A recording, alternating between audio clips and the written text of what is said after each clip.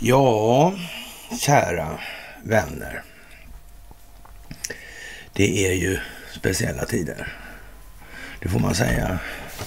Vad säger de där? De säger att förändringens vindar ska blåsa över Sverige idag. Vad kan de mena med det, svenska medier? Skriver de det frivilligt, tro? Valet av rubrik, är det någonting som spelar roll? Har det med opinionsbildningen att göra? Har det med optiken att göra? Jag vet inte. Ingen aning. Fantastiskt, kära ni. Fantastiskt att få göra det här tillsammans med er. Det måste jag säga. Ni är otroligt fantastiska. Ja, vi skriver den eh, 10 augusti 2022. Ja, det är mitt i veckan, det är piglördag. Och på piglördagar då brukar det vara dags för ett, eh, ja, onsdagsmys. Så, ja, det är stillsamt. Inte mycket händer. Man blir nästan förvånad över att det är så stillsamt. ja, vad ska det bli av allting här egentligen? Vad ska ske? Vi gick igenom det förra gången lite grann hur i stora drag hur det här ser ut i USA hur ser det ut i Sverige. Mm. Har Magdalena tappat lite geist? Ja, hon har gjort det va? Mm. En del andra höjer fanan. Hur är det med svenska grundlagar? Vad måste ske där? Mm. Mellanliggande val, ja. Just det. Ja, ja, så kan det vara, ja. Mm. Vad säger det för något? Mm. Vad säger det för något? Är det här planerat? Är det här en stingoperation? Det här folkbildningsprojektet, grundar det sig på den här stingoperationen? Mm, jag vet inte.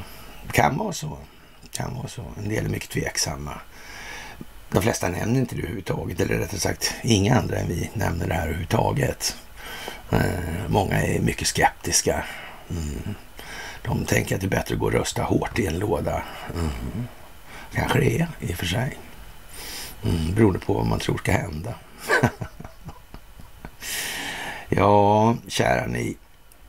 Det är fantastiskt och få göra det här tillsammans med er och ni ska ha det största av tack naturligtvis. Ni ska ha ett enormt tack för gåvor på Swish och Patreon. Ni ska ha tack för att ni fördjupar er på karlnorberg.se och ni ska ha ett jättetack naturligtvis för att ni hakar på telegramtjänsten och som alltid de här underpoddarna. Wonderpods då, då på göteborgska. Mm. Ja, viktigt det där alltså. Av flera skäl som jag ska ta upp här alldeles strax. Ja, det finns en tanke med det där. Mm. Man kan bara nå människor där de är. Mm. Ingen annanstans. Mm.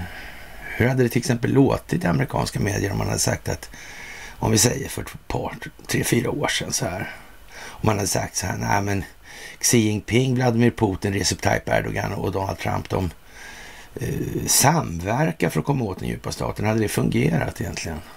Var klimatet, det opinionsbildningsmässiga klimatet alltså, var det moget för den typen av information på den tiden? Eller får man ta det här i delar? Ja, jag vet inte. Jo, det vet jag faktiskt och det vet ni också om ni tänker efter.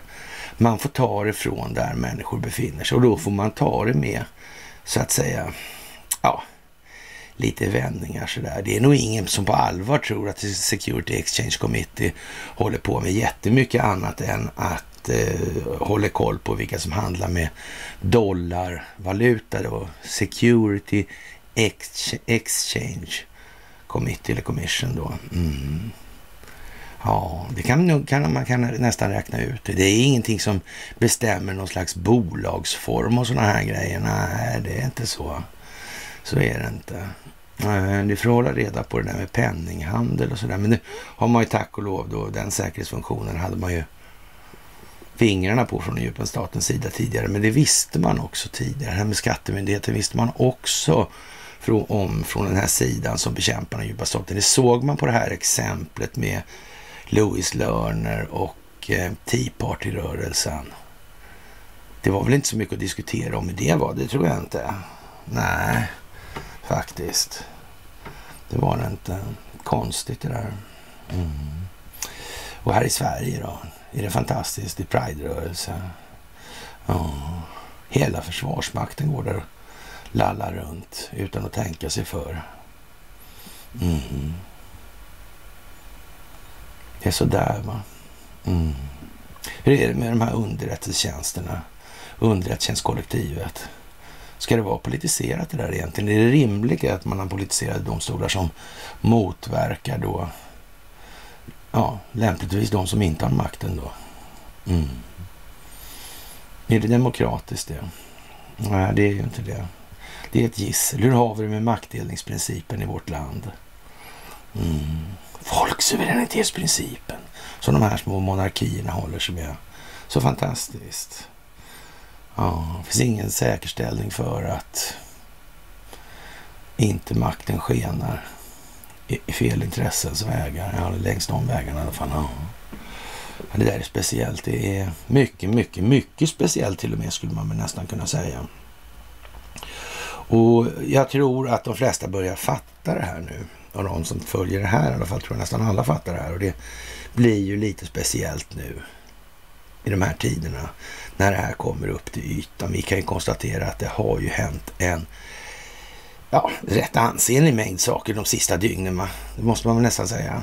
Mm, det var en hel årsskörd om vi bara går ja, fyra, fem år tillbaka i tiden så hände det inte så mycket på hela de åren än vad det ja, hände på några dagar nu. Det är ju lite skillnad i tempo skulle man kunna säga och magnitud på, eller ja, ska vi säga svängningarna, amplituden. Och eh, det är väl inte särskilt lämpligt det här med försvaret. Och vad sa Ryssland egentligen? Att vi skulle bli i landet i Sverige då någon form av föregångsland för Ukraina. Här kan man ju säga att vi är just nu då. Men det är jag inte säker på vad det sätt som Kreml ansåg sig mena skulle komma. De kanske avsåg något annat, att något annat skulle komma. Men det kan väl, ska de invadera då kanske? Ja, det ser ju ut så när de här soldaterna dansar efter lastbilen där på Strandvägen. Mm. Det ser ju ut så, ja. De dansar i Pride-tåget där. Mm. Är det politisk Pride? Är det någonting som är understött av RFSL? Ja, det är det va? Mm. RFSL, de startade Planned Parenthood International. Den stora kärnan för internationell fosterdelshandel och en hel del annan handel med människor också. Trafficking alltså. Mm. Det är väl speciellt. Det är speciellt alltså. Mm. Ja, det är som sagt Omdömet bland de här människorna är alltså lite tveksamt alltså. Det får man helt enkelt säga. Det är PK-korridoren. Och om PK-korridoren är någonting som så att säga leder till ja, någonting som människor som går i den här korridoren inte förstår. Ja, vad ska man säga? Det hade varit bättre med mer eftertanke innan, lite mer prometeuskt skulle man nog kunna säga, inte så mycket epimeteuskt. För att ta sikte på några gamla, ja, urtida sagor ska vi väl kalla det för. Jaha, de här fasonerna som jag har hållit på med i det här landet har naturligtvis spritt sig med visst uppsåt alltså, över hela jorden. Och hur kommer det sig egentligen att 184 länder alltså går med på att ge bort sin, eller sitt centrala nervsystem till ett telefonbolag sådär från Sverige? Hur kommer det sig? Varför ingen enda som motkämpar eller motsatt sig det här? Naturligtvis är det så att den amerikanska utrikesförvaltningen, alltså utrikesdepartementet, har medverkat i det här och av någon anledning då alltså. Och man kan väl säga som så att det går också långt bak i tiden och ni kan ju titta på de här föreläsningarna då. Ja.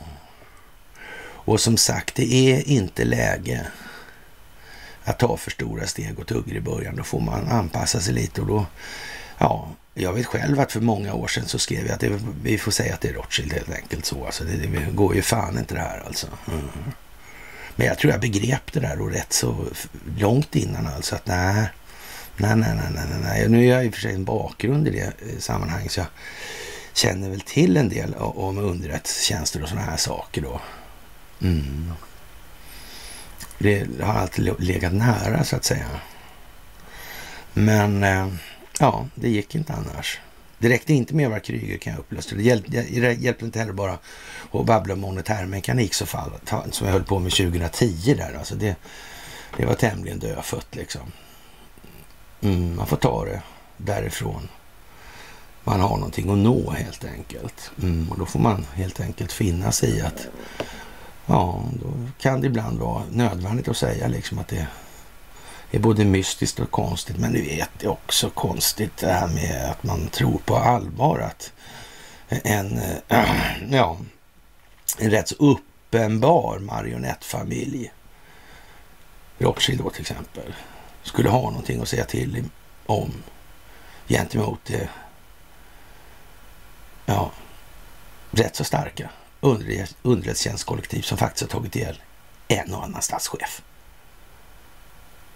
Jag, jag, vet inte om det liksom är riktigt kompatibelt. Nej. Det, det, det verkar liksom konstigt att de klarar sig på det. Mm. Faktiskt. Och sätta namnet på papper sådär med Balfour-deklarationen. det är jättekonstigt alltså. Mm. Jag vet inte. Och Japan i alla fall har eh, en avgående regering vid dagens möte med full kraft alltså. Och eh, Fumio Kishida har planerat att ombilda sitt kabinett, kabinett mitt i växande ekonomiska problem i landet. Alltså balansräkningen för Bank of Japan, alltså de innehåller en och annan finansiell tillgång alltså. Noga räknat ja, en 80-90 procent av den japanska börsen då. Så man kan säga att den här japanska ekonomin, den kommer att bli lite rörig om de där skulle komma i kontakt med marknaden. Det kan man nog säga. Ja. Mm. Ja, vad ska man göra? Man, också kan man säga så här också att i det läget finns det ju en del andra lösningar på en rad olika problem. Man kan ju tänka sig att ja, om det är staten så är det ju statens. Mm. Då är det ju så. Faktiskt. Och det öppnar ju en del intressanta möjligheter i det här läget. För, för att travestera då ett känt eh, program från USA då, så, så ja, The Private Western Central Bank liksom. Mm. Var kom den ifrån den här? Mm. Och Japan har delat ut Hirohito-ordnar, höll jag på att säga, men Serafimerordnar till familjen Hirohito rätt så länge. Skulle man nästan kunna drista sig till att säga också. Det är speciella tider nu, det måste man säga. Det går igen globalt alltså. Och, och Japan sitter ju där de sitter va, geografiskt. Så är det också. Mm. Ja, det är speciella tider. Och som sagt, eh, idag så är det nya tider och, och eh, helikoptrar på låg höjd över Stockholm sådär och, och så. Och under onsdagen kommer polisen tillsammans med Försvarsmakten och nationella operativa avdelningen NOA att genomföra en övning i centrala Stockholm. Under övningen kommer helikoptrar stundtals befinna sig på låg höjd, skriver polisen på sin hemsida. NOA övar kontinuerligt för att höja polisens och samhällets förmåga att skydda samhället. Mm. Ja, det börjar bli dags för det kanske. För de här intressena som har verkat i urminnes tider, de har inte samhällets bästa som syfte. De har sin enskilda nytta som syfte. Och den enskilda nyttan alltså, det är någonting som hänger samman med den själsliga dispositionen hos individen. Och den har under hela den mänskliga historien alltid varit starkare än de här grupphistorierna alltså. Som på konstgjord väg har tillåtits verka ledande. I alla fall till synes ledande. Sådär. Ja, fantastiskt alltså. Och eh, informerade pro poliser alltså och det här rättssystemet, det är ju lite, eh, ja, udda kanske. Är polisen en sån apparat som är korrumperad? Finns det korrumperade poliser? Är det många som åker fast? Kommer det här sig då? Mm. Åklageriet. Har de gjort några stora sådana här bravader? Nej. Varför är det aldrig de som kommer på det här och sätter dit och hej och hå? Mm, konstigt. Kan det bero på att den här korruptionen är institutionaliserad? Ja, som jag sagt många gånger, om vi har världens mest korrumperade globalister, mm, verkar globalt utifrån Sverige med Sverige som bas och det går inte att lagföra dem. Är det konstigt att nationella säkerhetsrådgivaren under Donald Trump sa att det här det handlar om det svenska rättssystemet? Är det konstigt? Nej, det är det ju inte naturligtvis. Det är helt jävla givet vad det handlar om och ingenting annat. Ingenting annat alltså. Jaha, och i Colombia är det rörigt värre här om man börjar nysta upp det här. Men man förhandlar i alla fall om vapenvila då. Eh, och, och, ja, vad ska vi säga? Hur var det där med Colombia egentligen och de här kartellerna och deras telefoner och vad har de haft för telefonbolag? De hade uppenbarligen ingen eh, ledare värd namnet som kunde konstatera, eller i alla fall som tyckte det var värt att kontrollera telekominfrastrukturen själv. Mm. Men då kommer det här, finns det en kraft som motverkar den djupa staten? Varför har man då låtit det här ske? Ja, så mycket har man nog förstått att om man inte tar kontroll över telekominfrastrukturen på ett mer övergripande sätt internationellt. Mike Pompeo åkte runt och skrev ett litet papper om A Memory of Understanding, alltså en MOU, gällande ett rent internet. Mm. Ja, kan det vara det det handlar om det här? Kan det vara viktigt att ha en sån grej? Det här med internationell handel och sådana grejer, om man ska ha clearingfunktioner och man ska ha till exempel kvantumdatorer som sköter de här regleringarna av olika länders valutor elektroniskt istället. Vilket gör att eh, handeln på valutamarknaden, hej då, ja, världens största marknad, handeln med pengar, vad fantastiskt. Är det inte konstigt? Påminner lite om energimarknaden kanske. Mm. Det är också speciellt det här, men vi kommer ju tillbaka till det naturligtvis. Jaha, och eh, det här med Donald Trump i USA och räden mot Mar-a-Lago där.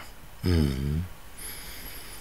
Det är ju speciellt. Alltså man ska vara försiktig med vad man önskar sig. Tänk om de hittar någonting då. Mm. För man kan nog vara rätt säker på att det finns några FBI-agenter kvar i alla fall. Som är värda sitt salt. Mm. Och Christopher Ray, han är ju som sagt, han sålde ju ut Hunter Biden där häromdagen i förhören i senat och kongress. Vad alltså, sa han för någonting? Han sa att eh, påverkansoperationer av främmande makt, alltså Kina, avsåg han då. Mm, och det gällde de här pengarna som Hunter Biden har fått och, och som uh, the big guy har fått del av. Mm. Verkar det särskilt lämpligt? Nej. Och nu höjs röster för att man ska terroristklassa Kinas kommunistiska parti här. Mm. Är det bra då att ha fått betalt av dem? Kanske. Om det skulle bli en terroristklassning på dem. Det är seriöst. Ja, jag vet inte om det är så jävla seriöst. Det ger inget så vidare seriöst intryck i alla fall. Det är jag helt säker på. Men, men vi kan ha fel. Jag kan ha fel i alla fall i den delen. Ja. Ja, och sen är det ju det där liksom, om man nu kan eh, göra tillslag då husisar på gamla presidenter. Mm. Ja, vem vet vad man kan hitta då? Vem vet vad man kan hitta då, ja ja. För det kan ju vara så att gamla presidenter har ja, dokumenterat förlopp, händelser, individer för att skydda sig själva. Mm. För det här med underrättelsetjänstkollektivet, det är vad det är i den meningen. De har ju en tendens att, så att säga, sopa igen spåren och nu har man ju hållit på med den här stingoperationen väldigt, väldigt länge och i sitt, så att säga, ja, utåt exekverande skede sen Donald Trump blev president här alltså. Ja. Mm. Och man lät ju det här ske då 2020, den 3 november, för att kunna dokumentera hela förloppet. Mm. Samla in bevisning och få ner det här på djupet ytterligare. Ett sista ryck. Mm. Och nu i mellanårsvalet den 3 november så kommer det här att effektueras. Valfusket är inte möjligt längre. Då har man stängt igen den möjligheten. Mm. Sverige har inte stängt någon sån möjlighet. Det svenska folket tror fortfarande att de har schyssta val. Och det kan man väl säga så här att man från den sida som bekämpar den djupa staten överhuvudtaget låter det komma på fråga att vi ska ha ett val är väl inget kanske smickrande betyg alltså för sin omvärldsförståelse vad det gäller den svenska befolkningen i alla fall. Mm, så är det ju. Det kanske man också ska minnas nu i det här läget och vara lite, lite mer ödmjuk med vad svensken traditionellt kan uppfattas vara då i sin självgodhet. Jaha, och ryssarna sammankallar säkerhetsrådet över den här katastrofen med Eh, kärnkraftverket i Ukraina alltså. Och, och, ja, vem är det som skjuter på det här kärnkraftverket egentligen? Mm. Eh, det pratar man inte så mycket om, men det kontrolleras ju av Ryssland. Skjuter de på sig själva alltså? Mm, jag vet inte, är det lämpligt det där? Nej, jag vet inte. Men västvärlden protesterar ju inte av någon anledning. Hur är det egentligen med de här eh, verksamheterna i Ukraina som Ryssland eh, gav sig på, alltså de här eller biokemlabben och kärnkraftverken och så. Vad har man gjort där egentligen? Mm. Så har Sverige någonting med det där att göra, tror mm. ABB Westinghouse kanske, Bränslegatan 1 i Västerås. Kan det, ha, kan det finnas samröre? Kan det finnas inblandning i den meningen? Det är väl lite oklart hur det förhåller sig. I alla fall i svenska medier fortfarande. Mm. Men vi får väl se om de kanske fattar galoppen som man så vackert säger i det här. Mm. Och eh, ja, Eh, man, eh, Ryssland har alltså gjort det, kallat det här krismötet för att diskutera situationen vid Ukrainas kärnkraftverk Zaporizjzja som har varit föremål för regelbundna beskjutningsattacker. Moskva vill att chefen för FNs kärnkraftsövervakning, internationella atomenergi och IAEA då, ska informera om rådet om situationen. Eh, ja, det här draget då, eller ja, det som rapporteras av ryska medier på tisdagen bekräftades av den biträdande chefen för Rysslands delegation till FN, Dmitrij Polanski, Polyansky, Polyansky ja, som sa att allmänheten behövde lära sig om ukrainska provokationer. Mötet beräkna, beräknas äga rum imorgon på torsdagen. Alltså. Mm. Ja, Ryssland säger att Ukraina har varit ansvarigt för en rad drönarattacker och artilleriangrepp på kärnkraftsverket. Den senaste beskjutningen rapporterades förra helgen. Eh, verkar det rimligt? Det är alltså ryssarna som skjuter på sig själva för att jävlas med Ukraina i allmänhetens ögon alltså. Ja, Kiev förnekar anklagelserna såklart och hävdar att Ryssland har beskjutit själva anläggningen för att misskreditera Ukraina givetvis. Kievs nationella säkerhetsråd har också hävdat att Moskva använde kärnkraftverket som en militärbas och höll tunga vapen och personal där givetvis alltså. Och IAEA har inte haft tillgång till platsen eh, sedan innan den eh, rysk-ukrainska konflikten eskalerade i landet i slutet av februari och förlitar sig på rapporter från Ukraina för att bedöma situationen på plats. Alltså. Ja, det låter ju seriöst alltså. Det måste man ju säga ändå alltså. Det gör det ju. Mm. Han verkar ju seriös den här Zelenskyj, det får man ge honom alltså. Ja, konstigt det där. Ja. Och eh, ja, på lördagen uttryckte generaldirektör Rafael Mariano Grossi IAEAs oro för de här artilleriattackerna uppgav att de underströk den mycket verkliga risken för en kärnvapenkatastrof som kan hota folkhälsan och miljön i och utanför Ukraina. Mm. sa Donald Trump då? Mm. Vi måste rusta upp våra kärnvapen och vår kärnvapenarsenal tills dess att människor förstår den verkliga innebörden av atomvapnet. Mm. Och så var det det där med uranbomber och fissionsbomber eller fusionsbomber. Mm. Radioaktiviteten. Det här är ju någonting som inte riktigt kommit fram än, men det kommer, det kommer. Need no, no worry för den sakens skull alltså. Ja, det är naturligtvis snudd på dråpligt, men eh, ja, ryska diplomater och militära tjänstemän uppgav att attacken mot Zaporizjzja kraftverket då kan resultera i en katastrof som är värre än Tjernobylreaktorsmältningen och ångexplosionen 86. Mm. Och då reser sig frågan, hur var det där egentligen? Ja, Becquerelhalten gick ju inte ens hem i Sverige på alla håll. Det var ju de som tog den gamla älgsteken från året innan och skickade in den på analys. Mm. Och sen skickade de in en älgstek från efter. Vi kan aldrig gissa vad det var mest becquerellisar. Mm. Det är lustigt hur det kunde bli så. Konstigt. Jävla mormor. Ja. Misstänksam kärring det där.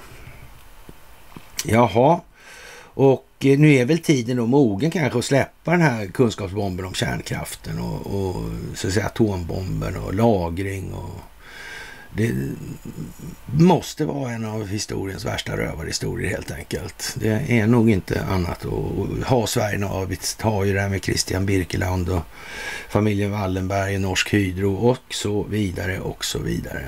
Mm. Lise Meitner, Manhattan-projektet, Ljungaverk, tungvatten, mm. axelmakternas kärnvapenforskning och så vidare.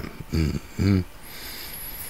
Ja, hur långt fram låg man egentligen när man släppte det här? Mm. Hur har det använts? För att skapa momentum för olika geopolitiska utvecklingsförlopp. Vem har gynnats? Mm. Konstigt. Jättekonstigt. Eller så är det ju inte så konstigt, så är det ju ganska lätt då. Men det får vi ju ta för vad det är just nu.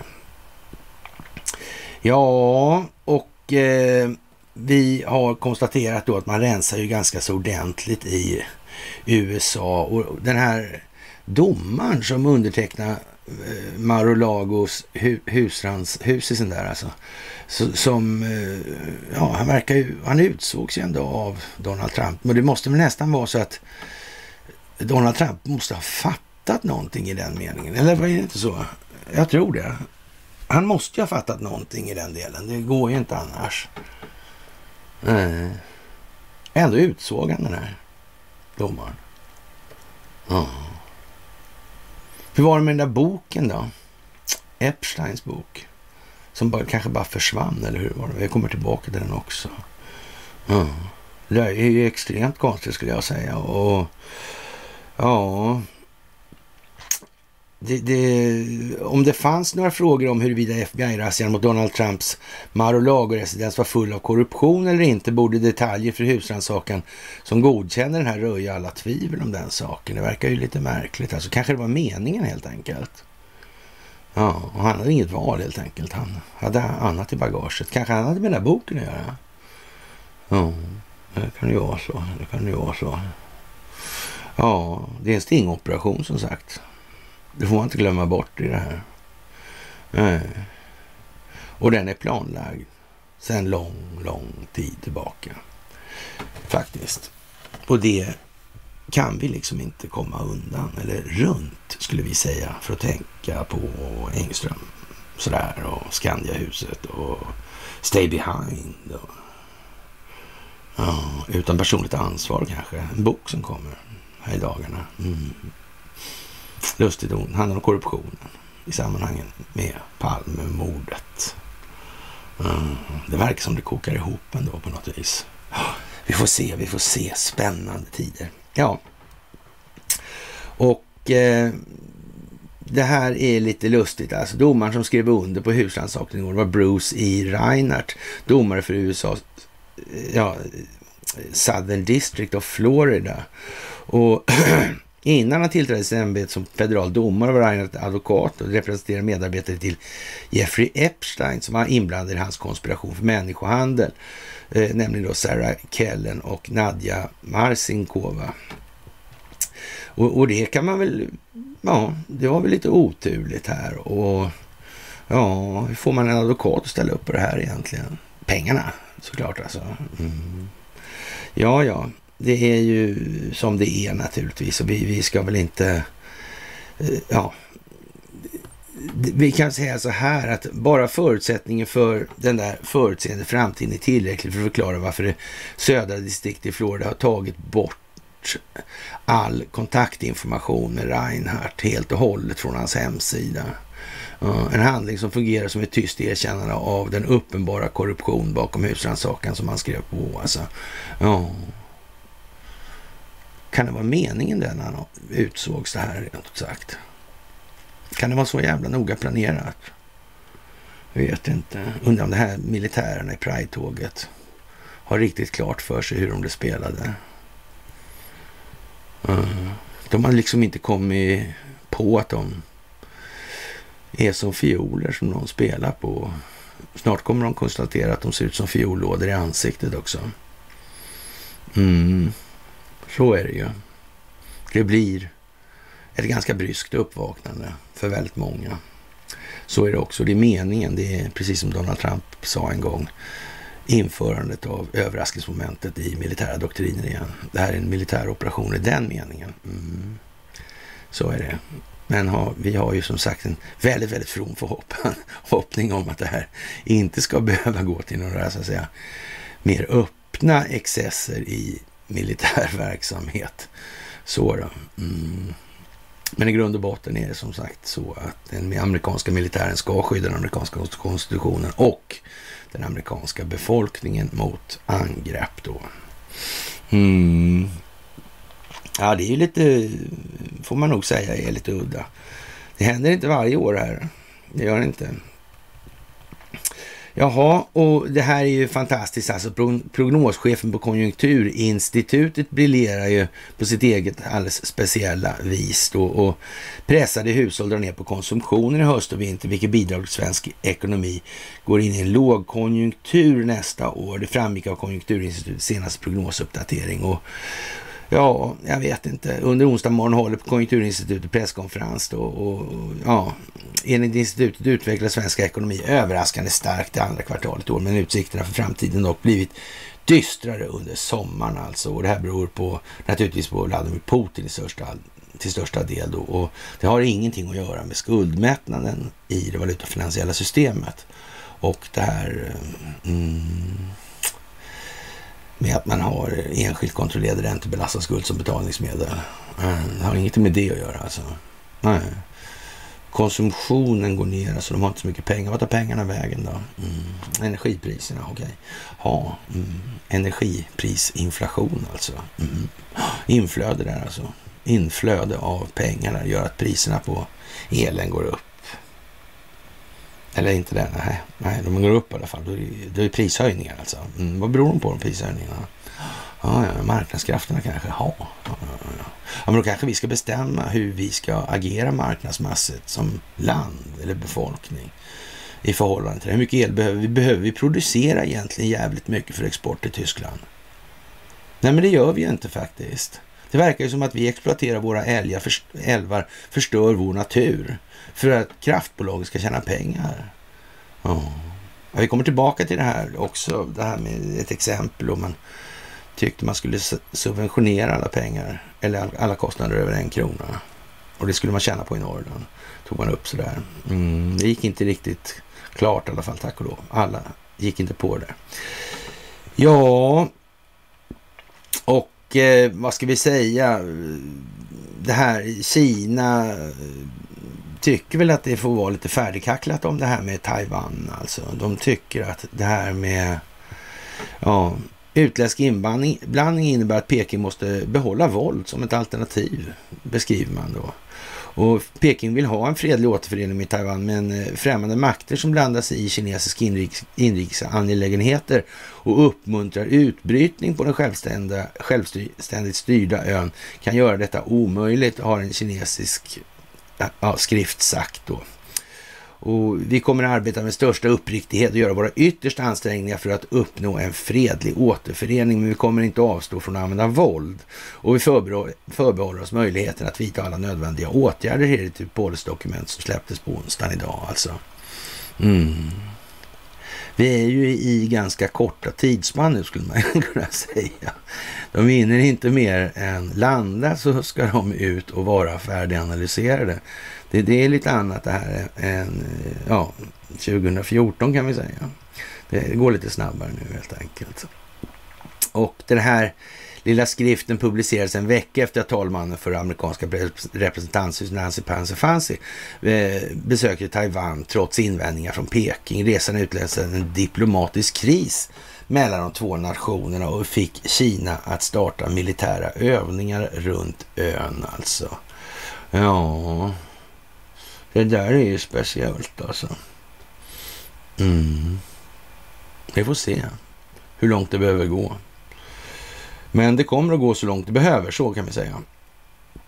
Och andra alternativ, de blir allt svårare att upptäcka helt enkelt.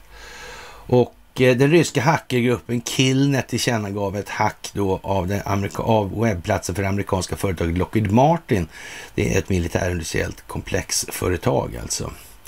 Och som i synnerhet tillverkar och levererar HIMARS och MLRS då, och Javelin PV-vapen alltså till Ukraina. Eh, ja, för närvarande fungerar inte auktoriseringen för anställda auktoriseringssystem som använder ett NASA smartkort. Killnet kunde också få uppgifter om alla kandidater för ett jobb på ett amerikanskt försvarsföretag. Lockheed Martins hemsida gick också ner i det här. Mm. Ja, man, kan någon ha tänkt på de här grejerna? Kan det vara planerat? Vem kan det vara? Mm. Alla människor i statsförvaltningarna är inte kompletta idioter eh, och egennyttiga svin. Så är det också. Men det är uppenbart så att vi kommer från en historieskrivning av en anledning. Och bryta det här på egen hand, det låter sig inte göras sådär utan ja, så att säga, rätt påtagliga konsekvenser. Och det får man minnas nu alltså. Helt jävla säkert alltså. Och med coronan runt huvudet då så ringer nu gonggongen alltså. Det är, idag så börjar det väl då blåsa i Sverige. Ja, om vi ser det eller inte, det återstår väl att se då. Men det ser ju lovande ut så att säga. Och det är för sista ronden alltså i det här. Och de trumplojala militära underrättelsetjänsternas dokumentation då över den här, det här stingbaserade folk bildningsprojektet då, eller stingoperationsbaserade alltså. Eh, ja, det är dokumenterat alltså. Var så jävla säkra. De har allting alltså. Allting och lite till faktiskt. Och vad har de här ja, militära underrättelsetjänsten verkar ju ha liksom en inställning, om vi tar Space Force och de här. Och, de verkar ha liksom ett modus operandi och ett syfte och mål. Medan de andra, de här bokstavskombinationerna, de här tre staviga, ja, de verkar ha ungefär samma målsättningar som MUST och Säpo. De är fyrställiga då alltså. Ja. Jag vet inte om det är bättre eller sämre. Eller. Någonting. Ja, men de är i alla fall väldigt politiskt aktiva, det kan man ju säga. Och det verkade ju inte så lyckat det här med att göra då ja, FBI då till och, och, man säger ju nu öppet att det här med, ja, hur ska man göra med de där? Alltså det är bara att lägga ner skiten. Ja. Och högförräderiet då, när det inträffade, det var ju valet 2020 och, och det som har pågått sedan dess, alltså ren ja, dokumenteringsverksamhet alltså. Mm. Se till att skapa en grund för de rättsliga processer som kommer. Så är det också. Och det här tar tid. Det här tar tid. För det här måste göras ordentligt. Och det går inte att göra något havsverk. För då är vi tillbaka på ruta noll igen. på ingen tid alls. Alltså. Ja, och som vi återkommande har påpekat, vad ska vi med organisationerna till liksom? Och vems syfte är det de alltid har verkat för? Vem skapar de egentligen? Ja, gick det bara över en dag så slutade de vara sådana dummingar och blev braingar istället. Godingar. Ja.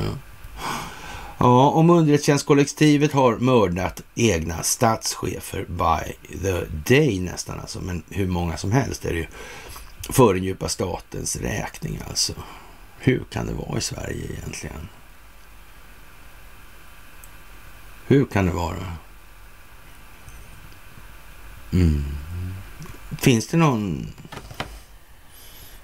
ja, geopolitisk tendens i det här? Kan man se ett mönster i den delen? Eller går det inte det? Jag vet inte. Mycket speciellt i alla fall. Och som sagt, den här bilden med coronan. Och nu är det till och med, hörs det ju röster från inte allt för så att säga eh, obetydliga håll alltså. På att spela trumpkortet då alltså. Det här med avklassificeringen. Det gjordes ju sånt. Vad tog papper, handlingarna vägen? Mm. Och de här som gjorde den här huset hade naturligtvis en uppfattning var det här, men det fanns några där också som hade en annan uppfattning med i det här tillslaget. Garanterat är det så. Mm. Och det här blir ju inte särskilt lyckat. Vi kan ju konstatera att det, det tog inte så lång tid alltså. Så, ja, en rätt så välkänd för detta borgmästare från New York som är brorsa med en före detta programledare på CNN. Alltså. Ja, just det. De där ja. Mm. Hållhaksbusiness någonstans? Nej. Nej. Ja, ja, ja. Mm. Ja, Andrew Cuomo så heter han. Mm. Chris Cuomo. Mm. Jaha, har det gått bra för dem då sen? Nej, det har inte gjort det. Nej, nej. Och han tyckte det där var för jävligt det här med politisering. Det skulle ju... Ja, ja, ja. Ja, de kan ju inte klaga om det skulle bli liksom en tillbakakaka på den där på rakt av. Det går ju inte för de har själva gjort så, så det är inte mycket bra.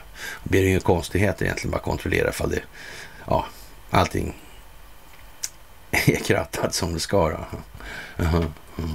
Ja, äh, det där är ju liksom, det är som det är helt enkelt. Och det, ja, man kommer ju inte runt Engström och Stay Behind eller Skandiahuset i alla fall. Och den här Lena Andersson släpper inte Palmemordet. Det är korruptionen som han hon skriver om då i det här. Och det kan man väl eh, säga eh, finns en stark poäng i just nu alltså. Det kan vara viktigt. Mm, den här korruptionen. Det kan ju vara så att de här instanserna faktiskt är korrumperade på så sätt att de faktiskt gynnar enskilda intressen istället för samhällets bästa jag skulle vilja dra det till så långt jag säger så här, all den stund man inte förstår det alltså nu, eller om man inte förstår det kanske snarare, då är det ju så. Men det är inget smickrande tecken i så fall. Då kommer man få revidera sin uppfattning något så ända in i helvete vad det lider. Det är bara så. Det kommer fort på nu. Det är inte så många, ja, vad vi ska kalla dagar. Eller veckor kanske. Mm. Kvar på det här. Så är det också. Som sagt, 3 november. Ja, snart är det september. Och redan innan valet här i Sverige måste det ha hänt en massa saker för att det här ska gå på ett ut. Mm. Lite speciellt alltså.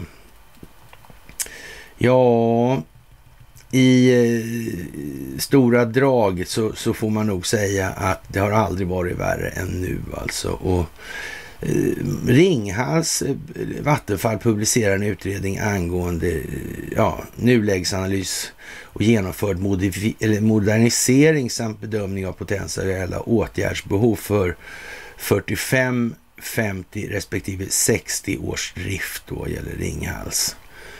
Mm. Det verkar inte så tokigt det där alltså. Mm.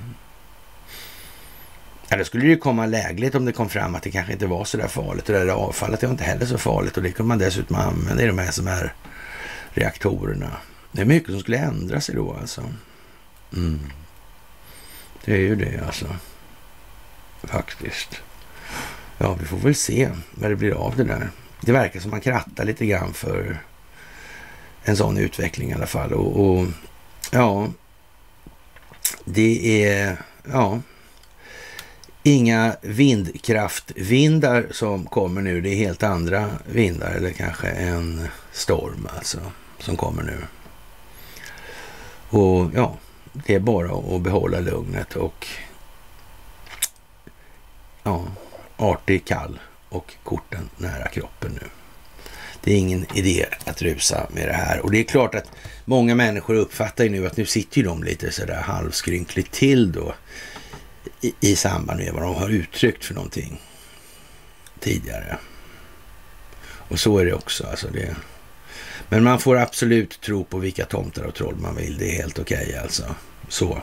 Men man behöver ju inte lägga det som ja, tomtar och troll i diskussioner som handlar om sakliga grunder och sådär. Det behöver man ju liksom inte föra in eftersom man inte kan... Det kom, leder ingenstans. Det ger ju mest ett intryck av att man vill så att säga sabotera diskussionen. Så, debattklimatet eller vad vi ska kalla det för. Och det är kanske inte sådär jättelämpligt faktiskt. Det är ju lite töntigt nästan rent ut sagt. Jaha, elpriserna rusar efter sommaren dyrt i södra Sverige. I början av veckan har elpriserna skjutit i höjden och Eh, det visar data från elbörsen Nordpol. Elbörsen det är en handelsplats för el, alltså där handlar man el på förhand, inte i efterhand alltså. Utan, eh, utan den innan, innan den är producerad då på något vis. Alltså. Och, och handlar man jättemycket el så blir det ett underskott där då på något vis. Alltså. Och redan där borde folk bli lite sådär, nej, kan det här vara liksom inte det här, verkar inte det här lite konstigt alltså? Så, men liksom Jaha, därför vi ska ha alla de här batterierna eller vad menar de liksom? Jag vet inte. Det där är lite kul faktiskt. Ja, eh, i södra Götaland, elområde 4, gick kostnaden i tisdags upp till 3,12 kronor per kilowattimme att jämföra med knappt 5 öre mer per kilowattimme för drygt en vecka sedan. Förklaringen är dålig blåst och att industrin börjar dra, dra igång igen efter semestern. Men priset påverkas också av att en finsk kärnkraftsreaktor har stängt för underhåll och att Norge har dåligt med vatten och ett underhåll hos Svenska kraftnät. Det uppger Magnus Torstensson, elanalytiker på Energiföretagen och jag undrar om inte det är någon form av diagnos alltså, om man är elanalytiker alltså. Man kan helt enkelt inte vara överdrivet smart då. Och, och, man får nästan ta som given förutsättning att elanalytiker har en rätt så påtagligt begränsad förståelse för monetärmekanisk fundamenta, så kan vi säga. Så har vi i alla fall lindat in själv, utskällningen lite grann. Sådär. Och det, det kan ju vara bra kanske ibland. Mm, ja. Dyrt i södra Sverige som sagt och, och ja, folket blir inte plundrat. Nej, men nu handlar inte de här elpriserna om någonting annat än folkbildning. Så är det också. Det beror inte på någon jävla sketen girighet, alltså så. Just det här som vi ser nu fram, utspela, utspela sig framför oss, det är en del i folkbildningen. Det ska bita. Det är meningen att det ska bita nu alltså. Folk måste väckas, folk måste tänka efter. Vi kan inte ha det på det här viset att de människor liksom skiter i allting alltså. Det kommer inte att fungera. Det funkar inte. Människor måste engagera sig. Samhället kan bara utvecklas om individen utvecklas. Och individen kan bara utvecklas om den lär sig att ifrågasätta de egna känslogrunderna och värderingarna. Ja, så är det. Och de i sin tur bygger på individens självbild, självkänsla, självrannsakan. Mm. Och hur de där olika begreppen sitter ihop. Mm. Ja, som sagt, eh, det går inte ut på någon banal plundring. Har man i det här systemet tillgång till banksystemet, då får man ju förstå liksom att det, det där är ju liksom ett överspelat kapitel. Nu gäller det att hålla igång kulissen för den sidan så att säga, för att inte få hela ilskan i knät då från befolkningens sida. Mm. Och det är viktigt att tänka på nu alltså. Det är jätteviktigt att tänka på. Jaha, och eh, Ryssland eh, stänger av oljan, eller en ledning till i alla fall då, eh, via den norra delen av ledningen som förser Polen. Och Tyskland med olja, den är opåverkad då. Och, och man, man, har stängt av någon som heter då den ukrainska operatören Ukr-Transnafta som stängde av oljan den 4 augusti. Och, och det är den södra Druzjba-ledningen som går via Vitryssland och Ukraina till Ungern, Slovakien, Tjeckien och Kroatien. Och de länderna kommer ju naturligtvis att få det lite tjurigt nu en stund. Men det är bra att det är sommar i alla fall, så kan det inte bli sådär oerhört mycket lidande. Men det måste bli lidande också i det här. För människor måste förstå. Människor måste se, måste uppleva, känna i det här och tänka efter. Vad är det för någonting jag ser? Vad är det för någonting jag upplever? Vad är det jag känner och varför är det så? Hela tiden. Och de här lätta, ja, kom mina lösningar. Ja, folkbildning. Det är det. Det är bara det. Det är inget annat. Det kan aldrig bli något annat heller. Eh, däremot kan jag ställa frågan, varför är du så jävla korkad så du inte fattar det? Vad beror det på? Det kan man säga. Det här är ju någonting annat. Det här är någonting större. Det här gäller hela mänskligheten på den här planeten nu. Det är ingen liten grej alltså. Den är rejäl. Ja, och eh, man kan väl säga att eh, de har inte mindre, de som gör så att säga motverkar den djupa staten, de har inte mindre kontroll på hur olika parter agerar i det här. Man kan säga att de har rätt så god kontroll på vilka som gör vad av vilken anledning. Det är nog rätt så väl utmätt numera. Och, och mm, ja, det är väl ingen idé att säga ni kan sluta göra er besväret många sådär, för det är naturligtvis inte så. Men, med, med det sagt då så menar, menar jag besväret med att försöka utveckla er själva. För behovet av det, det kommer uppenbarligen att bli rätt så påtagligt mycket större inom en ganska så snar framtid. Så är det också. Och det här är liksom under uppsikt av parter som inte har plan, eh, programmerat sina kvantumdatorer fel, om vi säger som så, för att mäta det här då, de här preferenskartorna i befolkningarna. Så kan vi säga. En del vet ju det, att det är felprogrammerat så. Alltså. Mm. Det är bra att veta. Och vet alltså bättre själva. Mm. Ja, nu ska jag inte raljera kring det där, men... Och ja, ja, som sagt, det här är ju en situation som är lite unik då. Och åtalet mot Trump rycker allt närmare, säger Wolfgang då Hansson. Och, och, jag vet inte, ingen risk för backlash-effekter i alla fall på det här då tydligen. Nej. Och, och det här med varför skulle det kunna bli det om eh, Christopher Ray är, är, liksom en sliper i det här, alltså en sovande agent som är ditsatt för det. var han tillsatt av Donald Trump ju. Mm. Han kanske visste att eh, det här med FBI och CIA var någonting dåligt. Ja, du vet inte de kanske hade bra, Jim Comey och James Clapper och Brennan. Och de kanske var bra killar. De visste det innan, kanske tidigt. Jag vet inte. Kan Admiral Rogers ha en uppfattning i saken? Kan Michael Flynn ha en uppfattning i saken? Kan de ha pratat med presidenten? Inte? Alltså ja, ja, okej. Okay, ja. Jo, men det tror jag också att de gjorde faktiskt. Jag tror det. Men det skulle vara nästan konstigt om de inte gjorde det om man ska vara ärlig. Alltså, så. Det, det, känns ju som att, ja, det hade man väl gjort sådär. Det verkar ju dumt annars liksom. Ja, ja och eh, som sagt, man säger nu då eh, ja, att eh, Christopher Wray, han blir nog den sista FBI-chefen alltså. Ja, man måste reformera FBI totalt, ja, som vi har sagt. Alltså. Vad ska vi med dem där till? Alltså, det, är det. det ligger ju liksom i det paketet. Ja.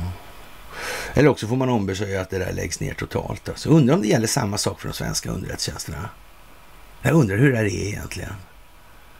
Man kanske inte ska ha de, eh, vad ska vi säga, eh, själsliga pygméerna vid rattarna till den apparaten. Det verkar dumt. Vi tar de mest egennyttiga för säkerhets skull. Ingen risk att det här används på fel sätt, eller? Nej, nej. Men, men eh, kör gärna lite mer Pride-tåg. Gör det. Det kommer hjälpa. Eh, för någonting kanske, oklart vad. Jag vet faktiskt inte riktigt det där. Och eh, den slutliga uppenbara politiseringen av underrättelsetjänsterna står nu alltså till öppen allmän beskådan. Det är bara för var och en att titta. Man har alltså gjort ett politiskt vapen av FBI. Vad konstigt. Hur kunde det bli så? Husrannsakan i ex-presidenten Donald Trumps bostad är ett tydligt tecken på att, åt, att åtal kan vänta. Eh, ja, men vänta. Eh, det kommer inte att bli... Eh, det kommer ta lång tid innan det blir åtal. Hur fan skriver han sådär för, Wolfgang? Vad menar han? Eller? Ja, husrannsakan i ex-presidenten Donald Trumps bostad är ett tydligt tecken på att åtal kan vänta.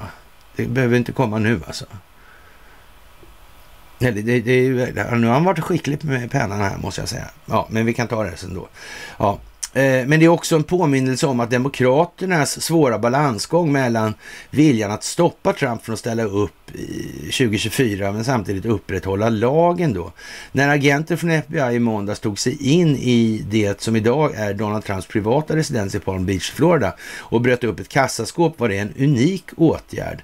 Det lär aldrig ha hänt att polisen har gjort en husis eller husrannsakan hos en före detta president för att samla bevis i ett eventuellt brottmål. För att kunna genomföra razzian måste FBI haft order om husrannsakan utfärdad av en domare, alltså det har vi pratat om redan. Ja, det var han som var kompis med Jeffrey Epstein. Ja, beslutet att ens söka en sån måste ha involverat mycket högt uppsatta personer i justitiedepartementet eller FBI. Problemet är ju det här alltså att man startar så, eller så att säga, etablera någon form av presidensfall alltså. Eh, ja, eh, eh, det blir, blir som ett prejudikat kan man säga. Och, och, det vill man ju helst inte ha alltså. Och, och, och, absolut inte om man är så att säga, oroad för sin egen framtid i sammanhanget. För man kanske inte alltid har berett, eller betett sig som ja, moraliskt föredömligt då eller något sådär. Och eh, ja, målet med, med eh, intrånget var att hitta hemligstämplade dokument som FBI och justitiedepartementet misstänker att Trump olagligen tagit med sig från Vita huset när han lämnar januari 21 alltså.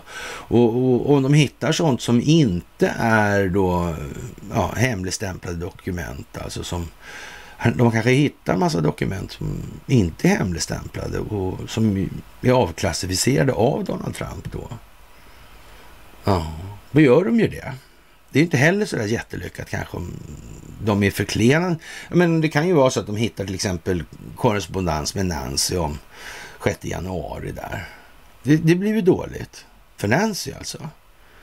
Och om hennes version och utsaga nu helt plötsligt inte alls är vad som har uttryckts. Då blir det ju väldigt dåligt. Och så finns det några till aspekter på den här saken, alltså vad man kan göra med före detta presidenter till exempel och så vidare. Och så vidare så här. Det där är ju lite eljest helt enkelt och är inte så svårt att förstå. Ja, misstanken är att Trump alltså försöker undanhålla för honom känsliga dokument och rent av för, har förstört dem. Och han tillsatte den här eminent moraliska domaren alltså Därför, ja, han hade ingen aning om att det skulle bli så här helt enkelt. Han var ingen planering. Det är känt, vem som känner det talar inte Wolfgang om, han gör sällan det, men i alla fall. Det är känt att Trump plockar med sig sådär Eh, 15 lådor med dokument när han lämnar Vita huset. Något som i sig är ett lagbrott. Ja, det beror väl alltid på vad det är för några dokument i så fall. Dokumenten från Vita huset ska bevaras och förvaras av en särskild institution. Men kopior kan han nog säkert ha med sig. Jag är inte säker på att Wolfgang är på bollen här. En motsvarighet till svenska Riksarkivet. En president som bryter mot lagen riskerar fängelse men kan framförallt diskvalificeras från framtida valda uppdrag. I Trumps fall kan det innebära att han förbjuds ställa upp presidentval 2024 om han åtalas och döms. Ja, vem vet alltså. Men om det här är en stingoperation den amerikanska militären håller i taktpinnen på det här. Mm. Och vad låter det här spela ut sig för att kartlägga och identifiera olika handlingar och personer. Ja, det vet inte jag. Jag tror det blir snarare Wolfgang som hamnar i en liten tokig situation här vad det lider. Ja. Han håller, håller på med aktiv opinionsbildning för att cementera lögner. Ja, det kan kanske inte vara så bra. Jag vet inte faktiskt.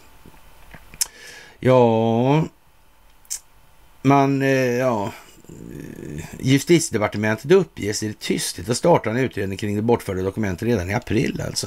Ja, husrannsakan indikerar att man nu närmar sig det avgörande i utredningen och det tyder också på att risken för åtal ökat alltså. Ja, det kan man nog säga.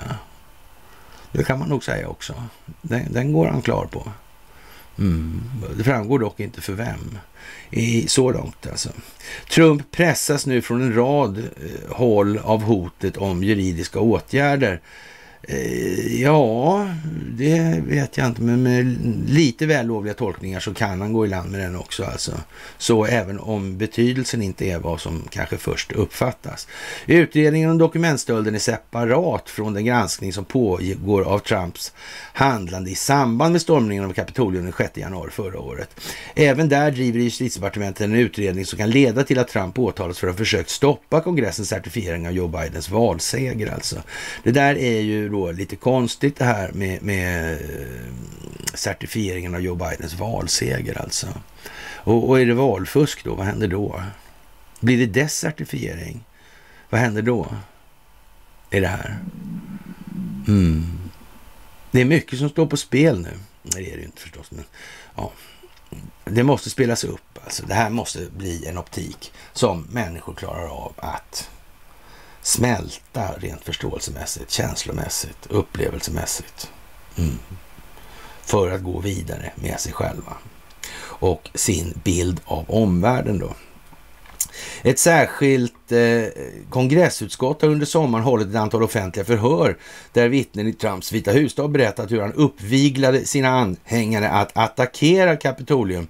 Eh, det här talet som, som Donald Trump höll i det här körde man ju inte ut då, men nu har det släppts loss här och det låter ju inte precis som Wolfgang säger. Missa Wolfgang det där, tro.